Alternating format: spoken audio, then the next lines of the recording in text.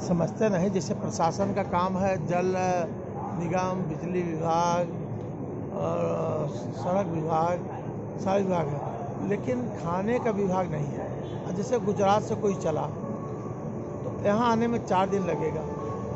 एक दिन का तो खाना लाया, तीन दिन बेचारा क्या करेगा? तो जब नहाता तो उसको लगती है भूख। तो यहाँ कुछ नहीं मिलता, और मिलता है तो सब सड़ा गला चीज़ मिलता है। तो मेरे मन में छत्तीस साल पहले आया कि बेचारे का जेब कट जाता होगा, सामान गायब हो जाता होगा तो इनका कुछ मदद किया जाए। ये विचार करके मैं आज के छत्तीस साल पहले ये भंडारा चालू किया। तो पहले तो हमारा भंडारा मात्र पाँच भगोने से चला था। आज एक एक कराहों में चालीस चालीस कुंटल सब्ज़ियाँ बनती हैं। एक एक कराहों में पाँच पाँच हज़ार पूड़ियाँ बनती हैं। और सब मशीनें लगी हैं, पूड़ी काटने की मशीन अलग है। रोटी सेकने की मशीन अलग है, सब्ज़ी काटने की मशीन अलग है, और आटा सानने की मशीन अलग है, मसाला पीसने की मशीन अलग है, टमाटर, मिर्चा काटने की मशीन अलग है। तो अब मशीनों के माध्यम से हम सब कर रहे हैं। अब हमारे भंडारा इस समय पाँच स्थान चल रहा है। पहला स्थान है संगम अपर मार्ग, सेक्टर दो। दूसरा है प्रशासन के ठीक सामने। तीसरा है हनुमान मंदिर के सामने। चौथा है किला चौराहे पर। और पाँचवा है तिकोनिया बस स्टैंड के पास। इसके अलावा भी दस जगह मेरा भंडारा चल रहा था। लेकिन जब भीड़ इस साल उतना नहीं है तो इसको हम केवल पाँच जगह पर इस समय चला तब भी एक लाख लोग रोज खाना खा लेते हैं। हर, हमारे पाँचों स्थान मिला करके एक लाख लोग आराम से रोज खाना खा ये तो बहुत ही अद्भुत बात है। क्या ऐसा नहीं हो सकता कि ऐसी व्यवस्था कर दी जाए कि कोई भी मेले में आए तो वो भोजन आप ही क्या करे ऐसा कुछ व्यवस्था कर दी जाए? स- ये सरकार चाहे तो कर सकती है।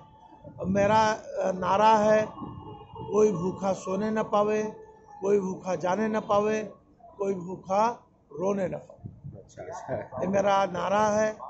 अगर सरकार मदद कर देती है अपना अनाउंस करवाती रहे जो इनका अनाउंस है उससे कराती रहे कि जिसको भूख लगे ओम नमः शिवाय भंडारा में जा सकता है और 24 घंटा खाना खा सकता है। मतलब ये तो मेला है इसमें एक लाख लोगों को पर डे खिला रहे हैं आप। लेकिन जब कुंभ लगता है तो उसमें तो एक करोड़ लोग पर डे आते हैं। तो क्या अगर व्यवस्था की जाए तो एक करोड़ लोगों का नहीं तो हमारा व्यवस्था रहता है। आ, अभी डिस्कवरी ऑफ़ हिस्ट्री जो विदेश का चैनल है हाँ, वो मेरा पूरा डॉक्यूमेंट्री फ़िल्म बना गया है कुंभ का। तो देखा तो ताजुब माना और कहा कि तो संसार का सबसे बड़ा भंडारा है। हाँ, इससे बड़ा रसोईया संसार में कोई नहीं है। हाँ। मतलब उसमें आपने जैसे कुंभ में खिलाया होगा जो पिछले हाँ, सालों पहले हुआ अर्ध कुंभ जो हुआ था जिसे हाँ। कुंभ कहा जा रहा है उसमें लगभग कित, लगभग कितने लोगों को आपने एक महीने में? उसमें प्रतिदिन ढाई लाख तीन लाख ढाई लाख तीन लाख खाते थे। और जिस दिन पर्व होता था उस दिन पाँच लाख सात लाख लोग खाना खाते तो उसमें कोई भगदड़ नहीं बनती कोई अवस्था नहीं होती। आपके पास इतना स्टाफ है इतना इंफ्रास्ट्रक्चर हज़ारों हज़ारों हमारे सेवादार हैं। और पूरे देश में कम से कम दो करोड़ क्योंकि हम प्रवचन नहीं देते। मैं सत्संग करता हूँ और ओम नमः शिवाय भगवान का जाप कराता हूँ। तो जो मैं अनुभव किया हूँ छत्तीस साल से कि जैसे कैंसर के लोग आए किडनी के लोग आए या कोई भी बीमारी के लोग आए और वहाँ बैठ कर भगवान का जाप किए भगवान का अभिषेक किए और लगातार पंद्रह बीस सप्ताह करते रहे तो उनका बड़ा से बड़ा रोग अपने आप समाप्त हो गया। तो वो सिर्फ़ ओम नमः शिवाय का जाप करने से या आप उनको कोई हाथ दबाकर या छू कर स्पर्श कर कर कुछ आशीर्वाद है कि ओम नमः शिवाय के जाप तो चलता है लेकिन उनका विश्वास मेरे ऊपर है। कि जब तक हम आशीर्वाद नहीं देंगे तब तक नहीं होगा। लेकिन होता है केवल भगवान के कृपा से। समझ लीजिए प्रतिदिन आज भी गौ घाट में मेरा आश्रम है बृहस्पति को बैठता हूँ। पंद्रह बीस हज़ार की भीड़ होती है। कानपुर में रामा देवी में बैठता हूँ सनगवा में। वहाँ भी काफ़ी भीड़ होती है। हाँ। और लखनऊ में गोमती नगर रेलवे स्टेशन पर बैठता हूँ। हाँ। वहाँ भी काफ़ी भीड़ होती है। हाँ। और सब लोग जब ठीक हो जाते हैं हम्म, तो हमारे अनुयायी बन जाते हैं। हाँ। कोई प्रवचन से अनुयायी नहीं बनता। हम्म, मैं प्रवचन देता ही नहीं। न मैं गीता में न मैं रामायण पर। मैं जीवन में जो अनुभव होता है वही बताता हूँ। हम्म, आप वही काम करिए। हम्म। आपका आपके परिवार का कल्याण स्वतः हो जाए। तो ये जो आप लोगों को कृपा करते हैं आशीर्वाद देते हैं जिससे उनकी मनोकामनाएँ पूरी होती है जिससे उनका स्वास्थ्य ठीक होता है इसके लिए क्या प्रभु ने आपको कोई शक्ति दी है? हम तो नहीं जानते लेकिन जो आते हैं तो यही कहते हैं कि बस आपके कृपा से सब ठीक हो गया। हम नहीं जानते हम तो इतना जानते हैं कि जो कुछ मैं एक गाना गाता रहता हूँ आपके कृपा से सब काम हो रहा है। करते हो मेरे भोले मेरा नाम नाम हो रहा है। मैं यही गाना हर समय गाता रहा तो इस कृपा को प्राप्त करने के लिए कभी आपने कोई सिद्धि की तपस्या की? बहुत बहुत बहुत बहुत। अच्छा। बहुत घनघोर अच्छा। सबसे बड़ा तपस्या तो मैं किया पूरा परिवार को त्याग दिया। धन दौलत आज भी मैं पैसा छूता नहीं। आज की तारीख में कोई बता दे मेरे जेब में एक नया पैसा हो। हाँ। मैं जेब में एक नया पैसा नहीं मेरा बैंक खाता नहीं। हाँ। कहीं दुनिया में मेरा बैंक खाता नहीं। हाँ। और मैं कभी अपने पास एक नया पैसा रखता नहीं। हाँ। हमारे कार्यकर्ता रखते हैं कार्यकर्ता ही खर्च करते हैं सब कुछ वही करते हैं हमसे कोई मतलब नहीं। तपस्या क्या की और परिवार को कैसे त्यागा आपने? त्याग परिवार ऐसे त्यागा वो कहानी तो बहुत लंबी है। लोग उस पर विश्वास नहीं करेंगे इसलिए बताना ठीक नहीं है। ये बता दूँ?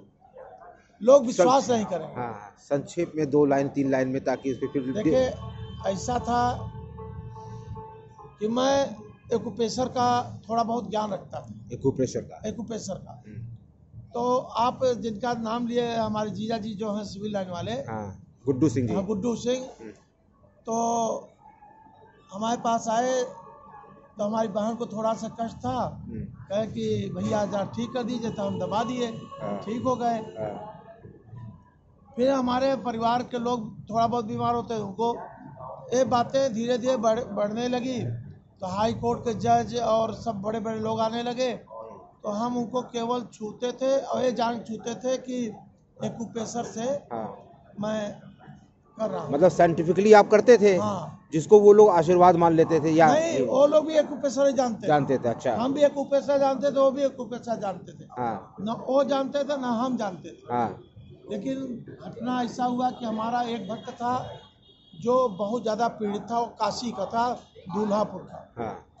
तो हम बनारसी लंगड़ा बहुत मन से खाते थे। अब हाँ। तो नहीं खाते। हाँ। तो बहुत आग्रह करके हमको ले गया बनारस। हाँ।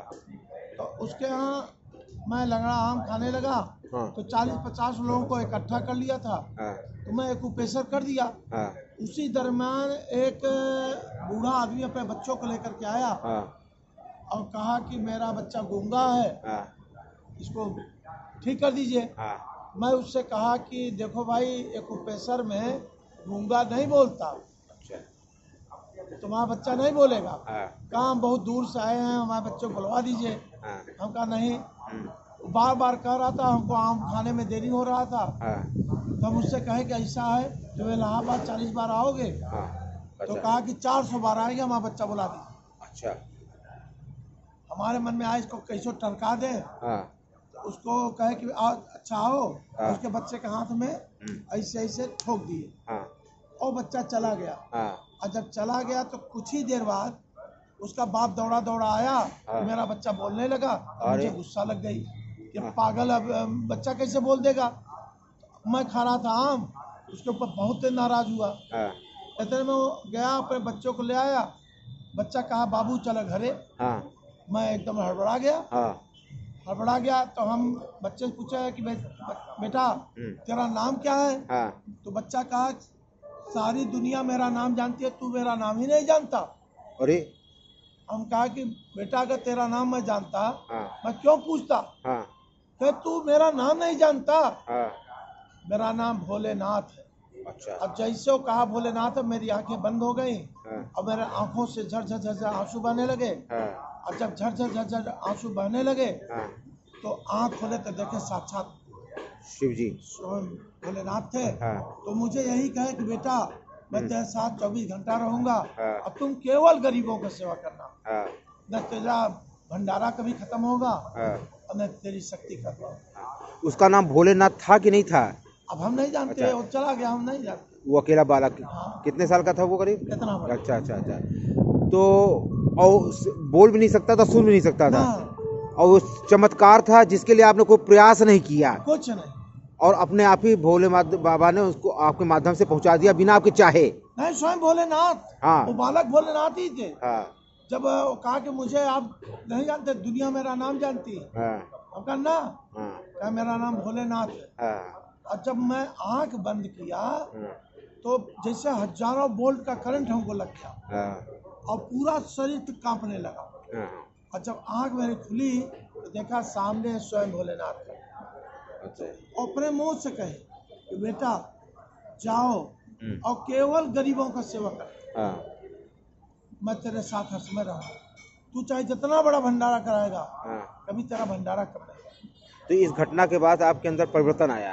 तुरंत परिवर्तन आया। तुरंत घर छोड़ छोड़ दी अच्छा पत्नी को बच्चों को त्याग दिया? सब कुछ धन दौलत सब जाए कितने बड़े बच्चे थे? एक बच्चा हमारा सबसे बड़ी लड़की थी उस समय चार पाँच साल की पाँच साल की हाँ। और छोटा वाला बेटा भी था करीब तीन तीन चार साल। का अच्छा। और सब छोटा वाला था दो साल। अच्छा। पूरा त्याग कर घर छोड़ दिया आपने? आज भी। अच्छा। मुलाकात नहीं होती? ना ना ना। कभी देखा नहीं? अरे नहीं आते जाते हैं हमसे प्रणाम करते हैं आशीर्वाद लेते हैं। हाँ। लेकिन पति पत्नी का संबंध नहीं बच्चों से हमारा कोई संबंध नहीं। हम्म, बच्चे आते हैं प्रणाम करते हैं बच्चे हमारे कृपा से भोले बाबा की कृपा से सब आगे बढ़ रहे हैं। तो इसके बाद फिर आपने अपना जीवन का ध्येय बदल दिया। सब कुछ और आपने ओम नमः शिवाय का वो लगाना शुरू किया। हाँ का वो। आज भी मैं वही एक्यूपेशर करता नहीं तो किस जगह पर करते हैं? एक ही एक ही जगह सबका करते हैं या सबका एक ही जगह, किस किस जगह पर? जैसे ऐसे कर दे बस। हाँ। बस। बस। इससे आप मानते हैं कि ये कोई प्रेशर पॉइंट है जिससे उसके ना, जीवन ना ना ना कुछ नहीं। नहीं मानते। हैं नहीं। ये कृपा है सर बस। कृपा है। वो कहते हैं हाँ। कि हमको छू दीजिए तो मैं ऐसे छू देता हूँ। हाँ। जाप हमारे यहाँ गजब का होता है और अभिषेक बहुत गजब का होता है। अच्छा। हज़ारों किलो हज़ारों किलो दूध हज़ारों किलो दही शहद शक्कर से भगवान का अभिषेक होता है भव्य श्रृंगार होता है भव्य ऐसी आरती शायद हिंदुस्तान में कहीं नहीं बस इसको कोई जानता नहीं। क्योंकि आजकल ज़माना पैसे का है हाँ।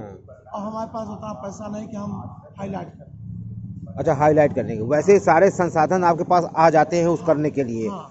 वो आपके पास है। नहीं जैसे हाथ पे किस पॉइंट हम जैसे हमारा हाथ है इसमें ऐसे कर देंगे। सिर्फ़ हाँ। ऐसा नहीं कि अंगूठी के पास है उंगली के पास ना, है ना, किसी भी जगह लग जाए। आपके करते समय आपके मन में कुछ विचार आता है? बस भोलेनाथ ध्यान रखता है बस। और तो ये एक तरह से चमत्कार ही मानेंगे हम आप बताओ क्यों- क्योंकि आप एक्यूप्रेशर में ट्रेंड हैं उसके बाद भी आप बता रहे हैं कि बिना उसके वजह से हो जा रहा है। तो कृपा ही है जैसे बहुत भाग्यशाली लोग होते हैं जिनके ऊपर प्रभु की कृपा होती है।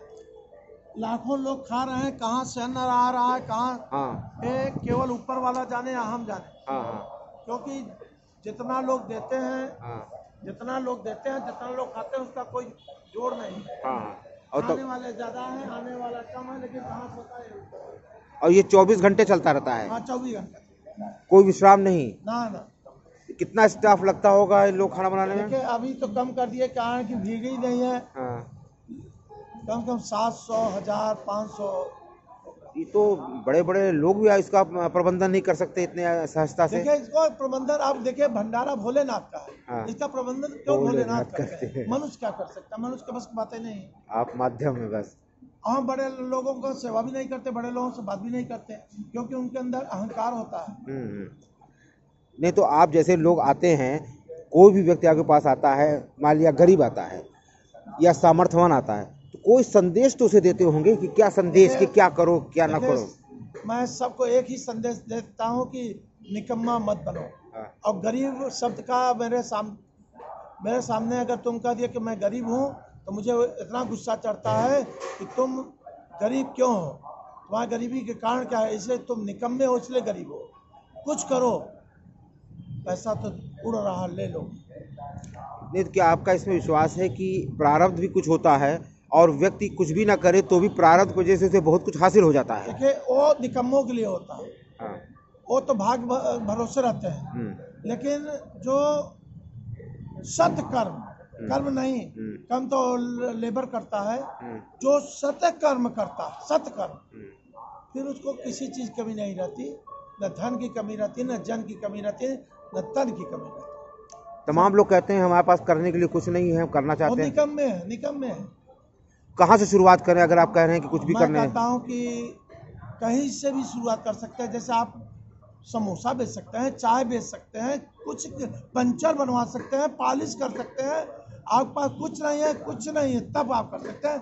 कुछ नहीं तो शाम को पाँच सौ रुपये तो कमा ही लेंगे और वो वही लोग होते हैं जो निकम्मे होते हैं। सोते मैं सोने पर बहुत ज़्यादा नाराज़ होता हूँ। हम्म। कितने घंटे सोना चाहिए? हम हम जितना सोता हूँ उतना तो को, कोई नहीं। लेकिन तब मैं चाहता हूँ केवल तीन घंटा चार घंटा सोना। लेकिन मैं तो सोता ही नहीं एक घंटा दो घंटा सोता हूँ। अच्छा बस। तो योगा तो कोई कर ही नहीं सकता। इस पर हम दोबारा बात करते हैं आपसे इस नींद के ऊपर। हाँ हाँ। बहुत बहुत शुक्रिया।